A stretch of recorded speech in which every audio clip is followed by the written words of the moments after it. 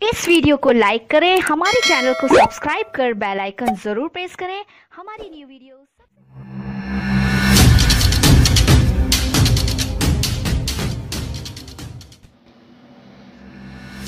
बसपा के पूर्व जिलाध्यक्ष अजय भारती ने मुख्य सेक्टर प्रभारी शिव कुमार गौतम पर कसा तंज। श्री भारती बोले, अगर किसी कार्यकर्ता को चुनाव लड़ाया होता तो नहीं मिलते पार्टी प्रत्याशी को करारी हार। क्या मन माफिक फंड देने वाला प्रत्याशी नहीं मिला था? कौन है जिम्मेदार? बसपा जिला अध्यक्ष जवाब दें।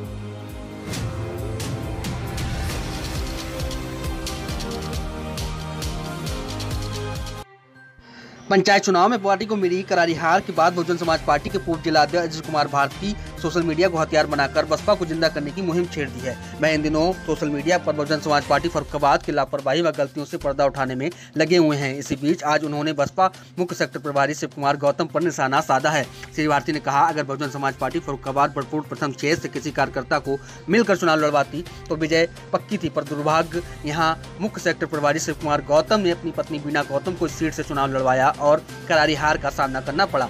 बीना गौतम केवल दो सौ अड़तालीस वोट पाकर तेरहवें स्थान पर रहीं। उन्होंने पार्टी पर आरोप भी लगाया है, क्या बलपुर प्रथम छह से मनमाफिक फंड देने वाला प्रत्याशी नहीं मिला था? तो फिर क्या मजबूरी में बिना गौतम को चुनाव लड़ाया गया?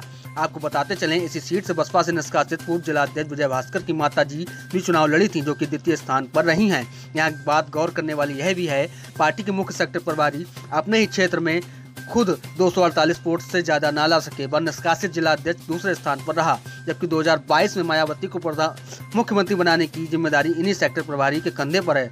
अब देखना यह होगा, बहुजन समाज पार्टी का शीर्ष नेतृत्व इस पूरे प्रकरण पर क्या कार्रवाई करता है? क्या फरुखाबाद जिला अध्यक्ष नागेंद्र पाल जाटव पर गाज गिरना तय है या और कुछ? देखिए आगे।